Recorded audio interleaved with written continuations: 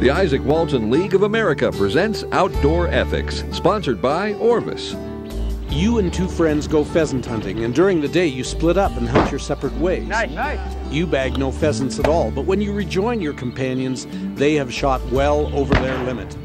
They want you to claim the excess pheasants as your take to stay within the limits. What do you do? Hi, I'm Bruce Barrett.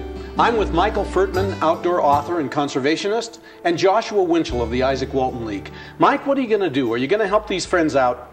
Bruce, if this was an honest mistake, frankly, it doesn't sound like it was, but if it was an honest mistake, I might be convinced to help them out. Mike, uh, this this wasn't an honest mistake, and uh, you know who are these friends anyway to be asking you to break the law for their transgressions? Friends don't do that. I wouldn't help them out even this one time. Well, my regular hunting partners would never put me in a situation like this. We've hashed this out a long time ago. But if these are otherwise decent guys and I think I might want to spend more time with them, I'd have a serious heart to heart to make sure it didn't occur again. Well, they shot well over their limit, and that again doesn't indicate to me that this was an honest mistake. Okay, you're right. Limits are there for a reason to protect the resource. And when you think about it, not only were these guys abusing my friendship, but they were abusing our hunting heritage. Well, you may be being a touch rough if these are friends of yours. I mean, you, okay, they were way over the limit. What if they were over the limit by one bird?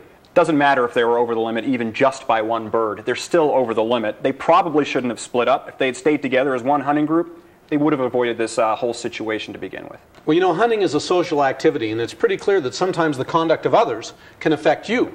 So I think it is a good idea to get together ahead of time and make sure you have the same understanding about things like limits.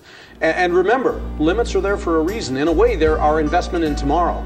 Now, to learn more and maybe tell us how you would handle a problem like this, go to ESPN.com and navigate to outdoors. We'll see you next time.